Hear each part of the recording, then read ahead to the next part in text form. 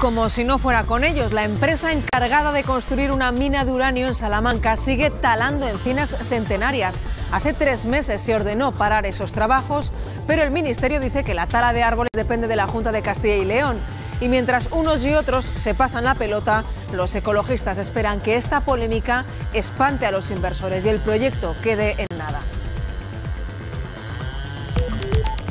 En enero, el Ministerio de Industria ordenó paralizar una mina de uranio en Salamanca que está siendo investigada por la Fiscalía. Tres meses después, esa empresa minera, que no se da por aludida, sigue talando encinas centenarias sin que la Junta de Castilla y León lo impida.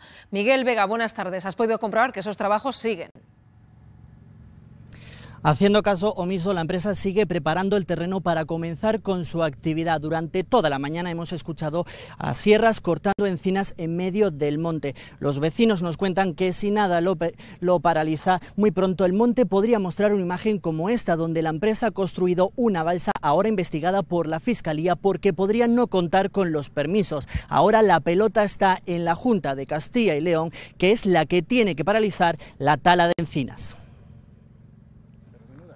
Desde el 18 de enero la mina de uranio de Retortillo está paralizada por el Ministerio de Energía.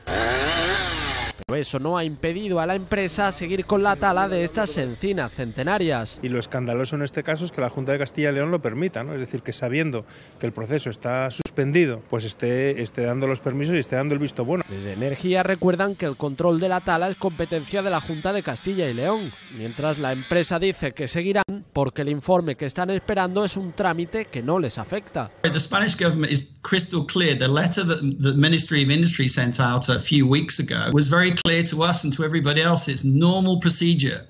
And our operations continue under those normal procedures. Las obras continuarán, pero el proyecto seguirá necesitando la autorización del Consejo de Seguridad Nuclear, que podría tardar hasta dos años. Para nosotros eh, significa que eh, le va a costar encontrar inversores que puedan invertir en un proyecto que no se sabe si va a tener luego un seguimiento o no. Hoy en el pueblo celebran la paralización como una pequeña victoria. Sobre todo nos da fuerza para seguir luchando para la impotencia que sentíamos a veces de que no nos escuche nadie, pues ahora nos sentimos escuchados. Si es una cosa que está perjudicando, ¿por qué no la han cerrado antes? Aunque lamentan que sus encinas sigan arrancándose.